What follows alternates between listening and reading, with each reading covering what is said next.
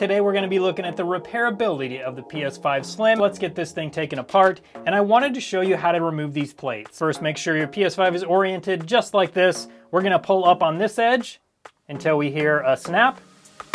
Then we're going to pull up this way, and that will just come off just like that. Now for this plate, we're going to pull up along this edge, just like that, and then push it up this way, and that'll get that one off.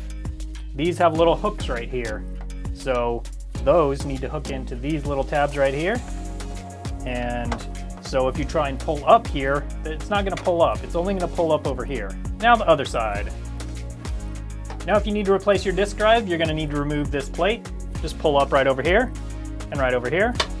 There we go. And then pull up this way, just like that. And then over here, we're gonna pull up right here and right here and pull up that way. This also shows you where the M.2 drive is. Now to remove the disk drive, we simply just pull up in the back, just like that, and then pull up in the front, just like that. It's got one little hook right here and one little hook right here. These hook in right down here, like that, and then it just pushes down in the back. So there's actually even little arrows. We've got an arrow there and an arrow there. Just gonna be using a Phillips number one to remove the M.2 drive cover and this is exactly the same as the previous version, so no changes there. You just put in your drive and then you make sure and secure it with this screw and you're good to go. Now to remove the fan, we're just gonna remove this little cover right here. That went flying. One of the things that I love that they've started doing is they made the fan side connector white and the motherboard side connector black. So if you need to remove this, you pull on the white part, not the black part. If you put your pliers too far down in there and start pulling up, you're gonna be pulling on the black part. And I'm gonna grab firmly, but not too hard or else it's gonna squish the connector. I'm gonna rock back and forth as I pull up.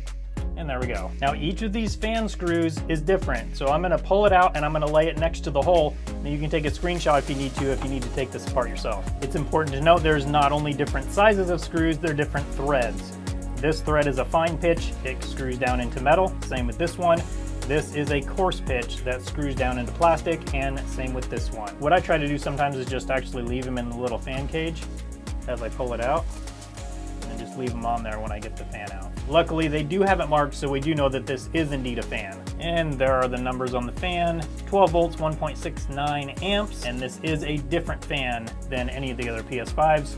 So if you're trying to replace it, it does have to be from the PS5 Slim. So I'm not sure what this means, but some of these holes, like this screw hole, has one dot next to it.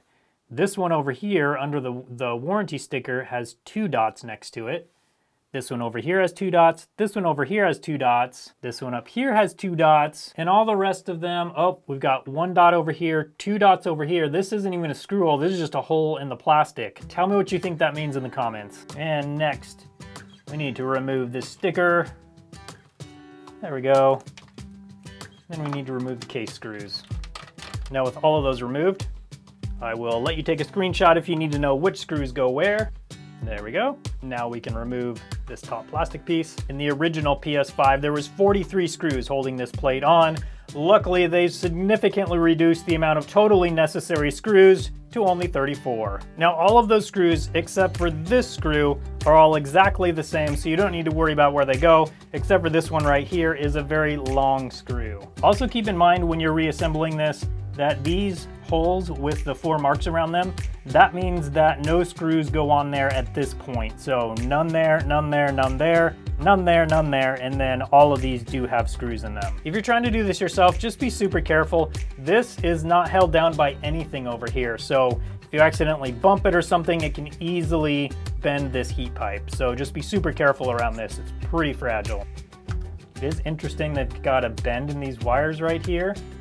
I don't know why they would have done that. It makes me feel like they just had some wires laying around that were too long, so they threw a bend in it. Who knows though. Now for this ribbon cable right here, I saw one other teardown online already that said you need to like push this metal piece out or something. I don't think that's the case. I've never done that before. All I do is push it down and then this cable just pulls right out. I don't think that metal piece is supposed to come out of that connector any more than it is. You guys tell me in the comment section if I'm wrong. like I need to say that. You guys will do that anyway. There we go. And here we go. Just got a bunch of thermal paste down here. This is a little hokey. So this whole piece is just held on by these adhesive strips right here. That's interesting. Nothing too crazy here. I do want to take a look at this HDMI port and see if it's any better than the original, but we got to get these clamp screws off first, then we'll have a look at that. Two more screws holding the board down. All right, and here we go. Do we have any oxidation on the APU yet?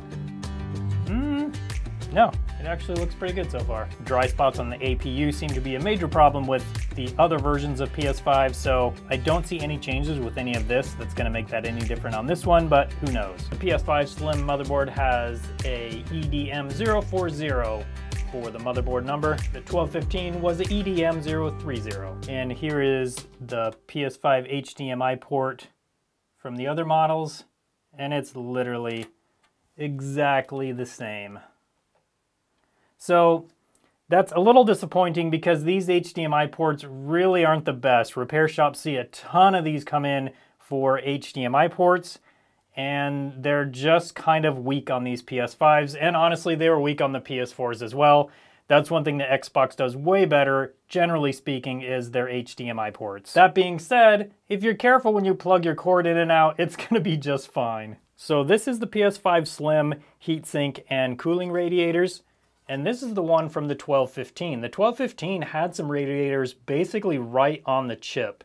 The Slim does not have that. It also seems like the Slim's radiators are probably a little bit smaller overall than these three on the 1215 model. Let's have a look at the power supply. So the power supply is interesting. This is the 1215 and this one is very similar between all of the previous models of PS5. This one is obviously completely different, and I think they probably had to redesign it so it would fit into a smaller space. This one is just such a chonkster. For the 1215 model, we've got an ADP 400FR, output 12 volts, 31 amps. And on the Slim, we've got an ADP 400GR, 12 volts, 31 amps. So essentially exactly the same ratings. Let's take a look at the inside. It is nice that this power supply just pops right out. It would be really nice though if it popped out from the other side, because if it did that, then all you'd have to do is remove that cover and then it would just pop right out. But obviously that would just be too repairable. And here is the awkward power supply. I do have to stress, don't mess with power supplies. It's not worth getting shocked. They're hard to get into and it's just a dangerous thing to do, so just don't do it. This one has never been turned on and I've double checked to make sure the capacitors are discharged but also I'm still not touching them. Over here is sort of the control chip, and this is one of the things that commonly go bad on these. This one is another some sort of control chip as well, and then we also have another one over here. I don't know a ton about these power supplies, but I have on the PS4, I have replaced some of those parts. These are the huge capacitors, and then we actually have quite a few other smaller ones, but still big. And next, let's have a look inside this disk drive. Kind of assuming we need to remove this block piece, kind of like a frame. So those three screws on the top and those four silver screws on the bottom. And will that get us in? All right, that gets that part off. This is the disk drive for the 1215 model. It's roughly about the same size, so I'm expecting the inside to be not too different. Let's remove one, two, three black screws. Now I do want to note that there is a serial number on this disk drive, but I want to see the inside and see what the laser and stuff like that looks like. Let's remove this bottom plate. Check out the roller assembly and the laser. I love that this little board is easily replaceable. It's the one with these switches and sometimes these switches can break. So it's really nice that this is pretty easily replaceable. Okay, and here we go. And this is similar to the other models of PlayStation 5, but definitely different. We still have the same rollers and a similar loading mechanism. With these four screws removed, we can actually pull this whole thing out. We can just pull out this laser assembly right here with that little ribbon cable removed, and we can flip it up. And there we go. That is the inside. And this is a KEM 497AAA.